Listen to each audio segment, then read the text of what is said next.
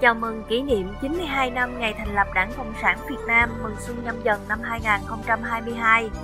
Ngày 20 tháng 1 năm 2022, Trung tâm Văn hóa quận Bình Thạnh ra mắt đặc sản xuân nhâm dần năm 2022 với 4.000 cuốn, với gần 75 trang bài viết, hình ảnh có nội dung phong phú, trong sự cố gắng nỗ lực phấn đấu, đoàn kết nhất trí, khắc phục khó khăn, phát huy nội lực, tranh thủ tối đa các nguồn lực từ bên ngoài, chủ động sáng tạo trong công tác lao động, sản xuất nên chúng ta đã hoàn thành tốt các mục tiêu nhiệm vụ đề ra.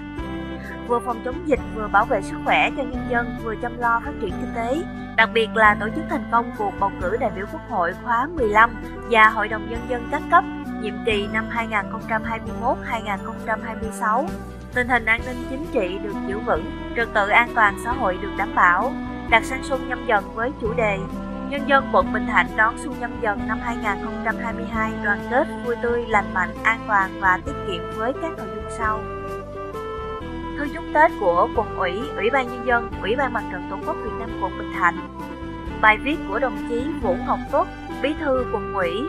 nỗ lực vượt qua khó khăn, hoàn thành cơ bản các nhiệm vụ năm 2021, Đảng bộ quận đã tập trung lãnh đạo thực hiện các chỉ tiêu, nhiệm vụ phát triển kinh tế, văn hóa, xã hội, đảm bảo an ninh quốc phòng, chăm lo đời sống nhân dân và tăng cường công tác vận động nhân dân, xây dựng đảng, xây dựng chính quyền trong sạch vững mạnh, đạt được nhiều kết quả quan trọng.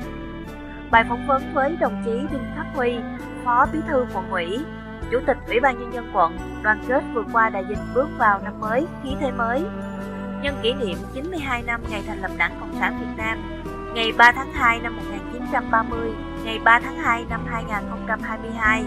với các bài viết dựng đảng ta thật sự vững mạnh là đạo đức là văn minh. Bác hồ với tết trồng cây kể về câu chuyện tết trồng cây của cán bộ phòng tuyên truyền của tổng cục lâm nghiệp với ý nghĩa trong việc giữ gìn môi trường thiên nhiên. Một số kết quả trong lĩnh vực kinh tế, văn hóa, xã hội, quốc phòng và an ninh của năm 2021 với các bài viết Bình Thạnh bước đầu định hướng xây dựng không gian văn hóa Hồ Chí Minh đẩy mạnh cải cách hành chính gắn với xây dựng chính quyền đô thị và cải thiện môi trường đầu tư, hình ảnh các hoạt động nổi bật trong năm 2021, danh nhân cách mạng tiêu biểu tuổi dần, di tích lịch sử văn hóa Lê Văn Duyệt, phát huy tốt giá trị văn hóa phi vật thể,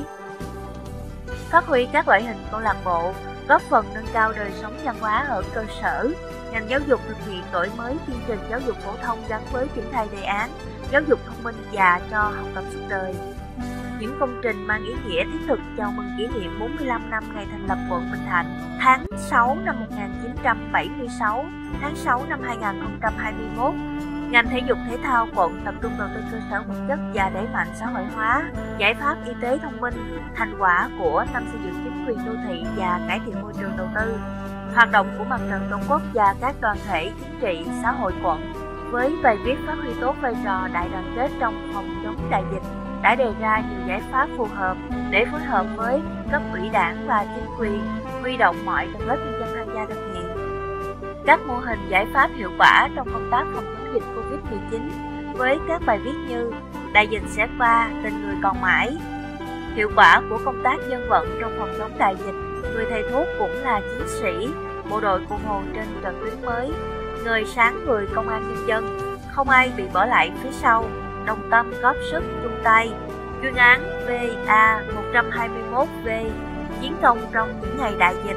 Trong không khí rộn ràng của những ngày xuân nhâm dần năm 2022 đang cận kề, khép lại một năm với rất nhiều khó khăn, thách thức do ảnh hưởng của biến đổi khí hậu và đại dịch Covid-19. Cuốn đặc sang xuân này hy vọng sẽ là một món quà chúc mừng năm mới đầy ý nghĩa, đồng thời giúp quý bạn đọc nắm bắt những hoạt động chính của quận Bình Thạnh trong năm 2021 Đường dẫn để xem chi tiết bản tin gia đình điện tử đặt Samsung xuân nhâm dần năm 2022 nằm ở phần mô tả. Mời quý bạn đọc theo dõi và đón xem các bài viết. Mùa xuân nhâm dần đã tràn ngập trên phố phường, vạn vật cùng thay áo mới. Trong không khí tưng bừng rộn rã của mùa xuân mới, ban biên tập bản tin gia đình xin kính chúc quý cộng tác viên, quý bạn đọc cùng gia đình một năm mới, an khang, thịnh vượng và dạng sự bình an. Năm 2021, ban biên tập cũng nhận được rất nhiều sự tham gia, cộng tác tích cực của các cộng tác viên cũng như sự quan tâm đóng góp ý kiến xây dựng của nhiều bạn đọc. Sự tham gia, cộng tác nhiệt tình và trách nhiệm này đã góp phần phát triển không ngừng của các số bản tin gia đình của quận Bình Thạnh ngày thêm phong phú và đa dạng.